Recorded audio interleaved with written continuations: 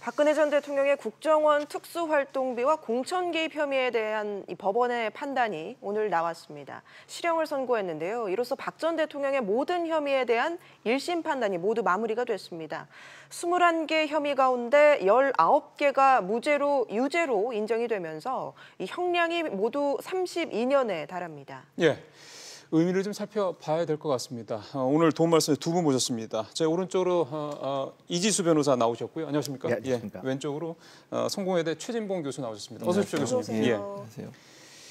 일단은 오늘 결과에 대해서 좀 변호사님 먼저 좀 평가를 좀 해주시죠. 글쎄요, 이제 오늘 그 서울중앙지법 형사합의 32부 어, 부장판사 성창호 부장판사 이제 심리로 열렸고 오늘 이제 어, 이제 국민들께서 조금 어, 혼동할 수 있는 게 지금 박근혜 전 대통령과 관련해서 두 개의 재판이 진행이 되고 있습니다. 예. 첫 번째 재판이 이제 국정농단 그 여러 개의 혐의가 이제 적용된 국정농단 사건이 하나 있었고 그거는 얼마 전에 이제 24년형이라고 하는 선고가 예. 있었고 오늘 난 선고는 그 기소 이후에 발견된 새로운 사실들 관계 사실관계에 근거해 가지고 또 이제 혐의를 적용을 시켜서 나온 것인데 그거에 관련돼서 오늘 이제 어, 6년과 2년 어, 도합 8년이라고 하는 실형이 선고됐고요. 그 두 가지 내용을 보면은 하나는 이제 특수활동비, 소위 국정원의 자금을 어, 문고리 3인방을 통해서 전달한 과정이 이제 네. 밝혀졌고 그거에 대한 이제 국고손실죄가 적용이 돼가지고 어, 6년을 선고받았고 또 한 가지는 이제 대통령으로 재직하는 당시에 총선이 있지 않았습니까? 네. 총선 과정에 이제 어, 개입을 해가지고 공직선거법 위반 혐의로 2년을 어, 선고받아서 도합 8년의 선고를 받았고요. 지난 국정농단 사건 때 24년형을 받은 게 있어서 지금까지는 아직 더 진행되어야 되는 상황입니다만은 32년형의 실형을 받고 있는 그런 상태입니다. 예. 근데 그 뇌물 혐의는 빠졌더라고요. 이건 어떻게 해석해야 되죠? 사실은 어, 뇌물 혐의에 대해서는 애초부터 조금 무리한 어, 음. 적용이 아니냐라는 어, 일부 법조계에서의 의견은 있었습니다. 왜냐하면 뇌물이 성립하기 위해서는 실질적으로 돈이 오고 간 것뿐만 아니라 어떤 청탁 관계가 있었어야 되는데 국정원장이 어떤 청탁을 특별하게 했었을 만한 어떤 그 내용들이 나오질 않았다는 거죠. 그냥 포괄적으로 잘 좀 봐달라 내지는 어, 국정 총책임자다 보니까 대통령이라고 하는 자리가 어, 그 국정 국무 국정원이 어떤 그 일에 있어서 뭐좀 향후에도 좀 잘 봐달라라고 했기 때문에 그것을 직접적으로 뇌물죄로 좀 적용하기에는 좀 무리가 있다라고 하는 것이 재판 전부터 나왔던 이야기입니다. 알겠습니다. 예, 교수님, 법원이 이 뇌물수수는 인정하지 않은 부분에 대해서 법원이 인정할 수 없다. 항소 의사를 밝혔죠. 그렇죠. 검찰이 항소하겠다고 의사를 밝혔고요. 어, 뭐, 문- 어, 박근혜 전 대통령이 지금 재판도 출석을 안 하고 있기 때문에 박근혜 전 대통령이 항소할 가능성은 낮다고 봅니다. 그러니까 재판 자체를 아예 무시하고 그러더라고요. 출석도 안 하고 있잖아요. 그러니까요. 어, 전직 대통령이라는 사람이 사법부의 권위를 완전히 무시하는 그런 행동을 하고 있는데 정치적 재판을 끌고 가려는 의도가 있다고 보여지고요. 근데 검찰은 이 부분을 인정할 수 없다고 다시 항소하기로 지금 결정한 것으로 알려지고 있고 이제 아까 말씀 이지수 변호사 말씀하셨지만 이게 관련돼 있는 세 명의 국정원장의 재판에서 이미 뇌물죄가 다 성립이 안 되고 무죄로 다 어, 무죄가 석, 어, 무죄가 판결이 나왔어요. 그래서 이제 준 사람도 무죄고 이 무죄가 됐으니 받는 사람이 유죄가 될 가능성이 낮다고 본 것 같고요. 검찰이 제시한 여러 가지 증거들이 좀 미흡하다고 판단해서 뇌물 부분만 무죄로 어, 그렇게 판결이 나왔습니다. 예, 새누리당 공천 개입 어, 혐의에 대해서도 유죄, 가 나왔습니다. 나왔죠. 맞습니다. 예. 이게 4.16 총선 때 어, 진박 소위 진박 감별을 하기 위해서 어, 여론조사를 하고 또 공천위원장 선임에 일정 부분 개입을 하고 공천에도 일정 부분 개입했다고 하는 것이 어, 다 증명이 되면서 박근혜 전 대통령 청와대가 어, 본인이 좋아하는 진박 또는 친박 어, 친박의 인사들을 국회의원에 당선시키기 위해서 적극적으로 개입했다. 이제 공직선거법상 위반이죠. 그래서 대통령은 정치적 중립을 지켜야 되는데 정치적 중립을 지키는 것이 아니라 적극적으로 선거에 개입했다는 이유 때문에 유죄로 확정이 됐습니다. 2년형을 받았죠. 예. 이거는 앞으로도 아마 시사하는 바가 좀 클 것 같습니다. 다들 무슨 저 뭐 총선이라든가 이런 때만 되면은 그 공천권 가지고 뭐 이렇게 갈등 빚고 하지 않습니까? 네. 어, 지금 이제 박근혜 대통령이 6년형의 선고를 오늘 뭐 나왔던 8년 중에 이제 대부분이 6년형의 선고를 받은 게 이제 국정원 특활비 문제 아닙니까? 네, 그렇습니다. 아마 국민들 입장에서는 특활비가 뭐지 하시는 분들도 계실 것 같고요. 그러면 이 특활비라는 게 어디에 어떻게 써야 되는 거냐라는 네네. 부분에 대해서 궁금해하시는 분들이 지금 많을 뭐것그 같습니다. 이후에도 특활비와 관련된 그 논란들은 많이 있습니다. 또 국회 특활비도 또 문제가 있고요. 근데 이제 지금 문제가 됐던 거는 뭐냐면은 국정원은 사실 특수한 임무를 수행하기 때문에 어, 어찌 보면은 어, 그것을 일일이 다 자, 어, 기재해가면서 어, 사용할 필요가 없는 그런 돈들이 있습니다. 이제 정보 수집비라든지 어떤 그 어, 어, 활동함에 있어서 사실은 흔적을 남기는 것이 오히려 그들의 활동에 저해가 될 수 있는 부분들이 있기 때문에 그렇게 이제 특수활동비라고 하는 것으로 예산이 편성, 편성이 되어 있는데 그것이 어, 이제 불법적으로 청와대의 요청에 의해 가지고 이제 흘러 들어간 어, 내용들이 나왔고 총 35억 원이 이제 그 새 국정원장을 통해 가, 어, 시- 재임 시절에 이제 전달이 됐다라고 해 가지고 어, 사실은 사람들도 마- 이제 국민들도 많이 분노하고 이랬던 부분인데요.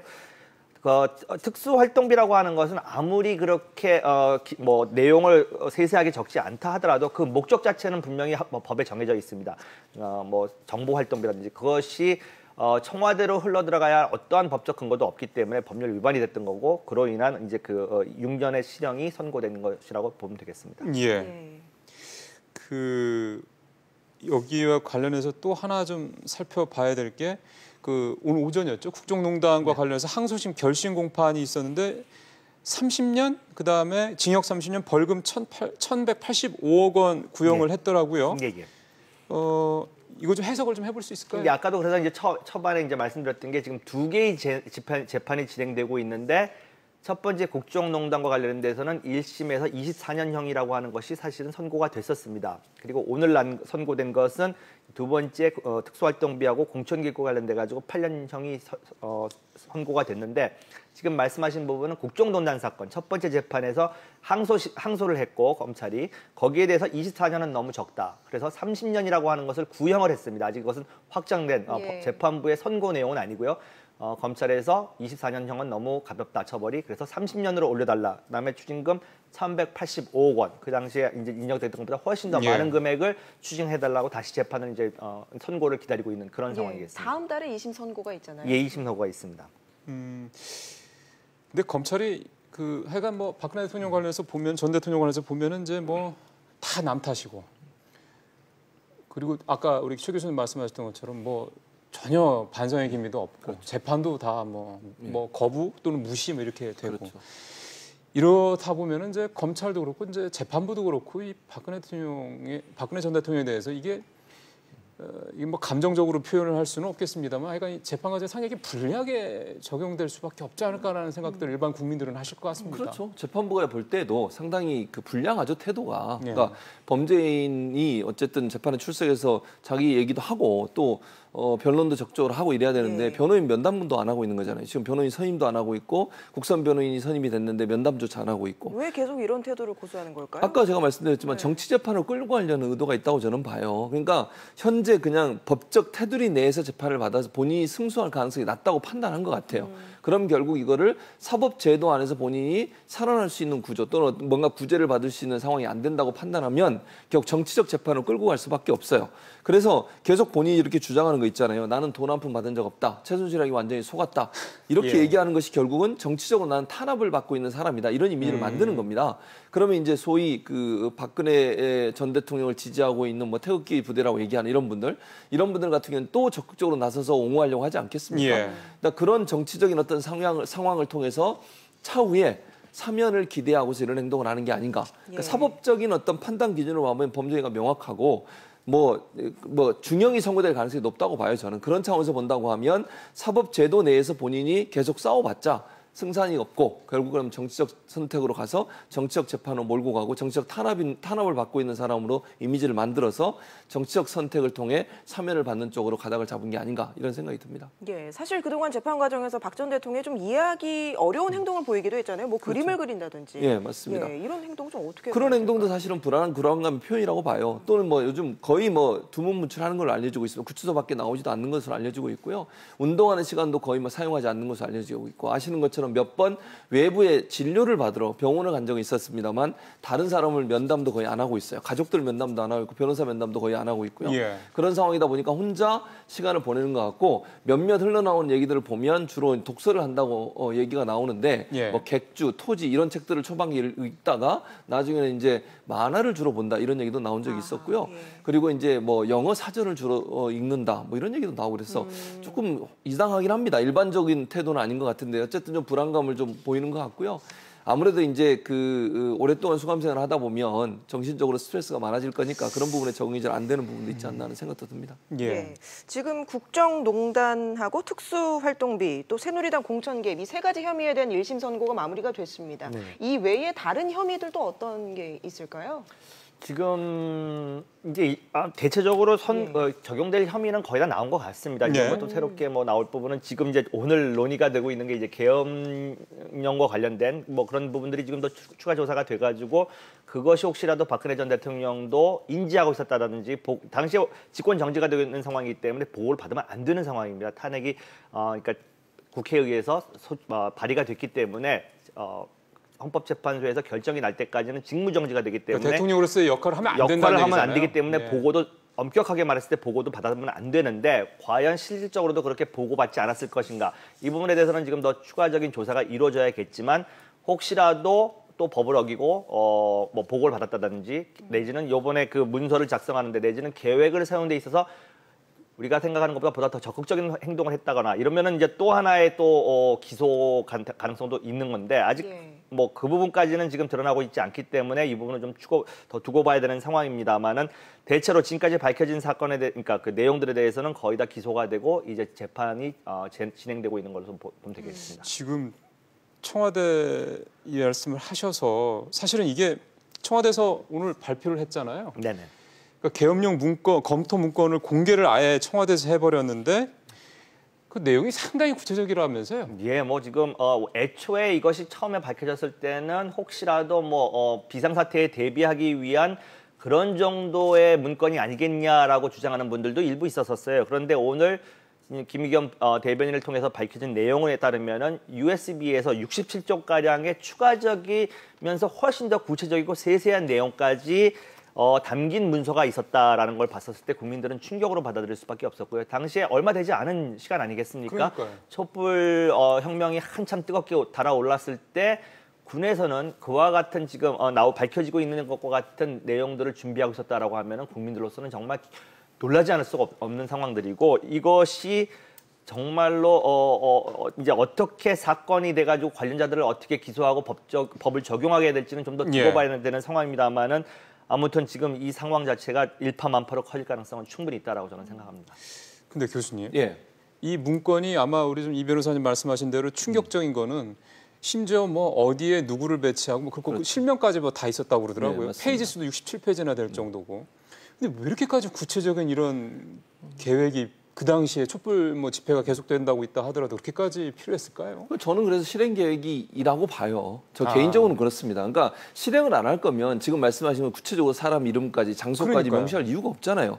그러니까 일반적으로 지금 뭐 보수 진영이나 자유한국당에서 주장하는 것처럼 그냥 통상적인 업무로 만들어졌다고 주장하는데 그러려면 지금 현재 근무하고 있는 사람 이름 또 어- 어디 예를 들면 소요가 일어날 가능성이 있는 지금 여기는 광화문 여의도를 찍었거든요. 광화문 여의도 두 곳에 어떤 부대를 동원시킨다까지 나와요.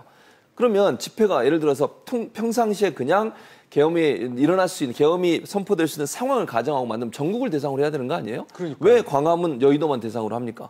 그리고 촛불 집회 나온 사람들을 대상으로 했다고 볼 수밖에 없는 것이 그 지역에서 주로 집회가 이루어졌고 그 집회를 막기 위한 여러 가지 대안들이 나왔다는 것도 문제라고 보이지고요. 실제로요. 오늘 그 김미겸 대변인이 그런 얘기를 했어요. 계엄에 대해서 구체적으로 2년마다 한 번씩 계엄 관련된 문서를 만드는 곳이 합동 참모본부예요. 합동참모본부 계엄과라고 하는 계엄과가 있습니다. 어. 거기서 계엄 실무 편람이라는 걸 만들어요. 2년마다 이제 수정도 하고요. 네. 근데 거기서 만든 내용과 완전히 상이한 내용의 세부 계획이 나왔다는 거죠. 그럼 거기서는 관여를 안 했다는 관여를 얘기네요. 안 했다는 거죠. 왜냐하면 이번에 나온 세부 내용에 보면요. 실제로 예, 계엄이 선포되면 계엄 사령관을 합참의장이 하는 경우가 이게 합참 같은 경우는 합동참모본부 계엄과는 합참의장이 하는 걸로 돼 있는데 그렇죠. 육군 참모총장이 하도록 돼 있어요. 아니 왜냐하면 육해 공군이 다 동원될 수 있는 거잖아요. 계엄이 되면. 그렇죠. 그러면 육군 참모총장이 지휘관이 되면 안 되는 거죠. 그렇죠. 합동 참모본부장이 해야 되는 거죠. 합동참 참의장이 해야 되죠. 그런데 거기에 보면 육군 참모총장이 계엄사령관을 하고 국정원도 그 밑으로 들어가는 걸로 돼 있어요. 국정원을 장악해서 국정원 2차장이 육군 참모총장의 지시를 받아서 도와주도록 돼 있습니다. 그러면은 계엄을 육군 참모총장, 그러니까 육군이 주도를 해서 육군의 권한 아래 국정원까지 집어넣어서 전, 그러니까 우리나라 전체를 장악하고 통제하려고 했다는 시도를 갖고 있어. 심지어는 국회가 계엄을 이제 만약에 선포하면 국회 동의를 받아야 되거든요. 그 동의를 막기 위해서 어떤 방식으로 제지할 것까지도 명, 어, 계획에 들어있다고 하니까 얼마나 철저하게 계획을 세웠는지를 볼 수 있는 사례입니다. 언뜻 들으면 어 그게 뭐 며칠 상간에 만들어질 계획이 아니다라는 생각도 또 하나가 들고요. 사실 이- 갑자기 말씀을 이 얘기를 들으니까 저는 12.12 때 얘기가 생각이 나거든요. 네, 네.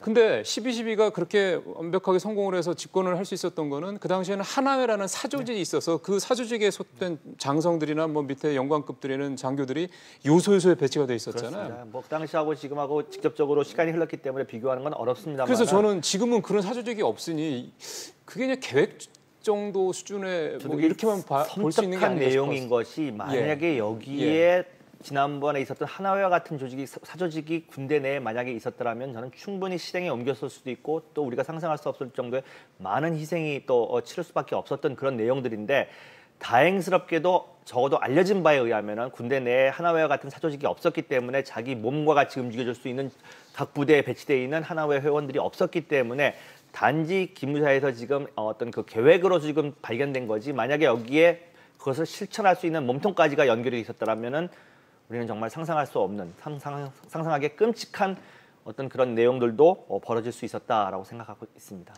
이- 하나만 더 여쭤보겠습니다. 네. 이거, 이거 이것까지만 여쭤보고 제가 사실 이게 계엄령이 갑자기 그 계엄령이 갑자기 나와서 이제 질문하다 보니까 몇 개가 나왔는데 이게 이제 중요한 거는 내란죄가 적용될 수 있느냐 여부 아니겠습니까? 네. 요거 좀 간단하게 한 말씀만 듣고 다시 박근혜 재판으로 애- 넘어가겠습니다. 애초에 이제 그 계엄사 어, 아니 그 미수령 관련된 그런 문건이 발견됐을 때는 어, 조금 적용하기가 어렵지 않겠느냐. 왜냐하면 그, 어, 내란죄를 적용하기 위해서는 상당히 구체적인 행동을 할 만한 준비된 상태 이런 것들을 봐야 되는데 지금 오늘 USB에서 발견된 67쪽 훨씬 더 우리가 생각했던 것, 상상했던 것보다 구체적이고 실행 계획.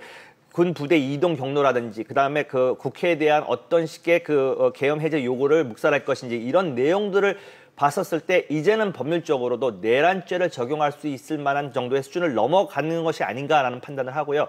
정말로 이와 관련돼서 깊숙이 어, 관여한 사람들이 있다라면은 이제는 어, 내란죄를 적용할 수 있는 구체성들이 하나하나 드러나고 있다라고 저는 개인적으로 보고 있습니다. 알겠습니다. 어, 요 계엄령 검토 문건 공개 얘기는 이제 요 정도에서 마무리를 하고 다시 이제 박근혜 대통령 전, 전 대통령 재판 얘기로 넘어가서 좀 마무리를 좀 하도록 하겠습니다. 앞으로 이제 어떻게 이제 재판이 진행이 됩니까? 교수님? 어, 이제 일단 방금 말씀하신 2심 재판, 2심이 이제 그 국정농단 사건에 관련해서 2심의 구형까지 왔습, 나왔습니다. 24일 날 이제 판결을 내릴 것으로 예상이 되고 있어요. 네, 다음 달이요. 그렇죠. 24일 날 판결이 내려지면 이제 2심까지 끝나게 되고 이제 3심 마지막 이제 또 어, 만약에 항소를 하게 되면 대법원까지 가게 되는데 대법원은 이제 좀그 여러 사건들을 계속 하고 있기 때문에 언제 될지는 좀 불분명해요. 그러니까 지금 상황에서는 1심과 2심은 좀 빨리 가는 이유가 2심 같은 경우에 왜 빨리 됐냐면요. 박근혜 전 대통령이 항소를 안 했어요. 음. 그러니까 경- 검찰이 항소한 내용만 검토하면 돼요. 그러니까 예전에 검찰이 했던 내용 박근혜 전 대통령 항소를 안 했으니 예, 예, 다시 다툼이 없잖아요. 예. 그러니까 일단 1차 1차 1심에서 했던 것 중에 검찰이 추가적으로 지금 얘기한 부분만 검토하면 되니까 시간이 빨리 지나갈 수 있고요. 지금 이 특활비 같은 것도 이제 1심이 끝났지만 이번에 2심도 사실은 좀 빨리 갈 가능성이 있습니다. 그것도 왜냐하면 박근혜 전 대통령 항소할 가능성이 낮거든요. 예. 왜냐하면 재판 자체를 거부하고 있으니까 검찰만 항소할 가능성이 있습니다. 예를 예. 들면 뭐 무죄로 지금 어, 결론이 난 무죄로 판결이 난 뇌물 부분을 다시 또 어, 유죄로 해달라고 어, 요청할 가능성이 항소할 가능성이 있기 때문에 그 부분만 따지기 때문에 또 2심도 빨리 끝날 가능성이 있어서 뭐 빠르면 올해 안이나 뭐 내년까지 끝나지 않을까 하는 생각이 듭니다. 그 끝난다는 말씀은 3심까지 그렇죠. 대법원까지 3심까지 끝난다는 가는데 이제? 대법원은 물론 좀 아까도 말씀드렸지만 여러 사건들을 다 다루는 곳이기 때문에 왜냐하면 이제 1심, 2심 같은 경우에는 이 사건만 집중적으로 다루는 재판부가 있지만 대법원은 모든 사건들이 다 오지 않습니까? 그래서 그 스케줄이 어떻게 다르냐에 약간 어, 영향을 받을 수 있지만 빠르면 뭐 어, 내년까지 마무리되지 않을까 하는 생각이 듭니다. 예. 한 가지만 더 오늘 여쭤보고 마무리하겠습니다. 이건 변호사님한테 여쭤볼게요. 네네. 사면이라는 게 있지 않습니까? 네네. 지금 섭, 뭐 굉장히 좀 뭐 이런 얘기일 수 있긴 한데 일각에서는 어, 지금까지만 된 것도 32년인데 네네. 뭐 지금 박근혜 전 대통령의 나이를 생각하면 거의 뭐 종신형과 마찬가지다라는 네네. 뭐 생각을 충분히 할 수 있고 네네.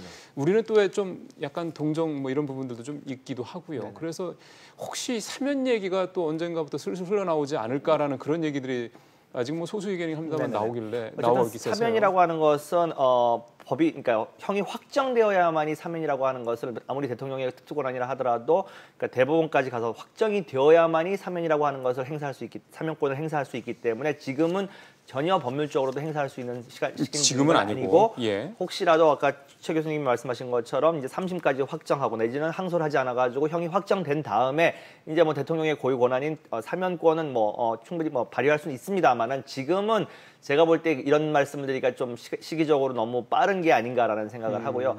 어, 사면권의 행사라고 하는 것은 고도의 정무적 행위입니다. 그러다, 그러다 보니까 법률적인 것뿐만 아니라 그 날, 당시에 이제 사면권을 행사하는 상황에 당시의 상황들을 종합적으로 고려를 해서 이것이 어떤 국민 통합이라든지 이런 것에 도움이 된다라는 판단이 섰을 때만 행사하는 거기 때문에 그 부분은 아직까지는 검토하지 않는 것으로 알고 있습니다. 그러면은 그거가 검토가 되고 물론 아까 말씀하신 대로 기본적으로 대법 판, 판결이 네네. 나와야 되는 이유라고 말씀하셨습니다만 변수가 될 만한 게 혹시 예상을 해보신다면 어떤 게 변수가 될 거라고 보세요? 글쎄요, 뭐 제가 개인적으로 생각을 하는, 하기에는 어, 이번 정권에서는 사면권 이야기를 아마 구체적으로 하기에는 좀 어려운 상황이 아닐까라는 생각을 하고요. 혹시라도 이제 건강이 악화되고 이렇게 이제 동정심이 좀 생기지 않겠습니까? 국민들 사이에서 박근혜 전 대통령이 이제 나이도 있고 그다음에 여성이라는 어떤 그런 부분도 있기 때문에 이제 그런 모습들이 자꾸 국민들에게 비춰주고 그랬었을 때 또 이제 어. 몇 년이 될지 그건 잘 모르겠습니다만은 국정을 운영하시는 분께서는 그런 것들도 고려를 해야 되는 상황이 오고 그러다 보면 사면에 대한 어떤 논의들이 물밑에서 진행될 수 있고 이제 그거에 대한 검토가 들어가지 않을까라는 생각을 해봅니다. 알겠습니다. 알겠습니다. 최진봉 성공회대 교수 이지수 변호사와 함께했습니다. 고마- 말씀 고맙습니다. 들었습니다. 네, 고맙습니다. 예.